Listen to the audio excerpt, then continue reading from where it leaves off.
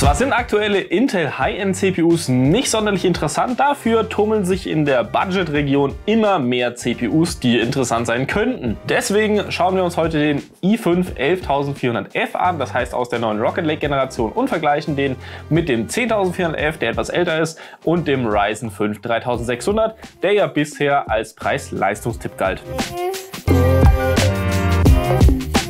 Um aber nochmal auf die 11. Generation generell zu sprechen zu kommen, der 11400F bzw. alle anderen CPUs, die mit diesem Schema beginnen, haben eine IPC-Steigerung erhalten. Das heißt, die pro Megahertz Leistung soll deutlich gestiegen sein, laut Intel bis zu 19%. Das heißt vom i5 11400F, wie wir hier haben, bis hoch zum 11900K und das Ganze soll natürlich diese CPUs deutlich schneller machen. Konnten wir auch in unserem Test bestätigen.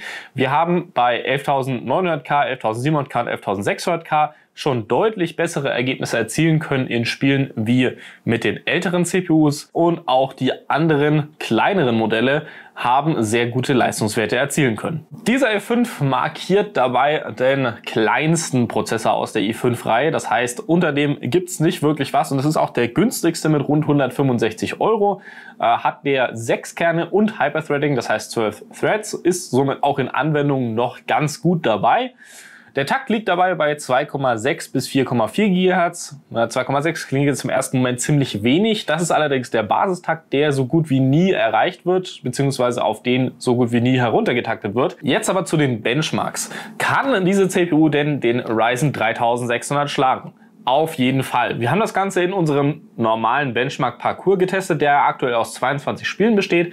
Und hier konnte die CPU eigentlich immer den Ryzen 3600 schlagen. Und das ist auch ganz klar, weil eben die Pro-Kernleistung deutlich höher ist. Wir erreichen hier Leistungen auf dem Niveau der größeren Ryzen 3000 Prozessoren, das heißt 3800 XT beispielsweise, der ja etwas höher taktet als der 3800. Natürlich gibt es auch Worst-Case-Szenarien wie Watch Dogs Legion, wo wir nur 6 6% über dem 3600 liegen, sind somit also nur etwas schneller und der 3600 ließe sich potenziell noch übertakten. Von daher in manchen Szenarien gäbe es da noch Raum für Verbesserungen. Aber auch im Vergleich der letzten Generation kann das Ganze etwas äh, ja, durchwachsen werden. Bei Red Dead Redemption 2 haben wir beispielsweise gar keine Verbesserungen oder nur minimalste Verbesserungen gesehen im Vergleich zum 10400F, der ja schon mittlerweile ein paar Tage alt ist. Das ist zwar eher die Seltenheit, aber kommt trotzdem vor, weil einfach manche Spiele nicht so gut auf die jeweilige Architektur abgestimmt sind.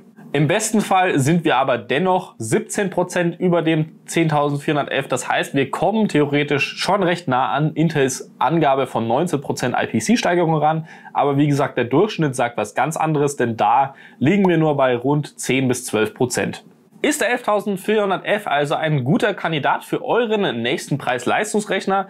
Wir sagen auf jeden Fall ja, denn er ist deutlich schneller als der 3600 im Schnitt, ähm, wenn auch man den 3600 natürlich noch übertakten könnte, aber da hat auch nicht jeder Lust drauf. Und selbst übertaktet liefert der dann vielleicht die gleiche Leistung ab, aber braucht auch deutlich mehr Strom als im Standardbetrieb.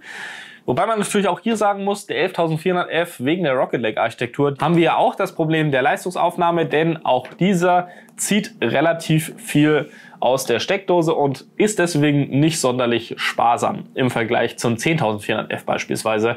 Zieht er ab und zu sogar das Doppelte. Sollte der Preis des 3600 also nicht sehr stark sinken und auf dem gleichen Niveau bleiben, empfehlen wir eher den 11400F. Lohnt sich der 11400F aber im Vergleich zum Vorgänger, das heißt den 10400F, den es ja aktuell für rund 140 Euro gibt, das heißt er ist nochmal 25 Euro günstiger. An sich muss man sagen, Beide CPUs lohnen sich, denn der 11411 ist für seine Mehrleistung auch dementsprechend mehr teuer und leistet quasi die Differenz an Preis. Habt ihr beispielsweise ein Mainboard, das den 11411 gar nicht unterstützt, ist es kein großer Beinbruch, den 10411 zu nehmen. Vor allem, wie gesagt, dieser ist ein bisschen günstiger und liefert trotzdem noch eine gute Leistung ab. Der 11411 ist gerade dann sinnvoll, wenn ihr ein neues System aufbaut und ihr sagt, okay, die 25 Euro gebe ich noch aus, da habe ich ein bisschen mehr Leistung, vielleicht auch in Anwendungen. Aber schreibt uns doch mal in die Kommentare, was ihr von dem neuen 11400F haltet.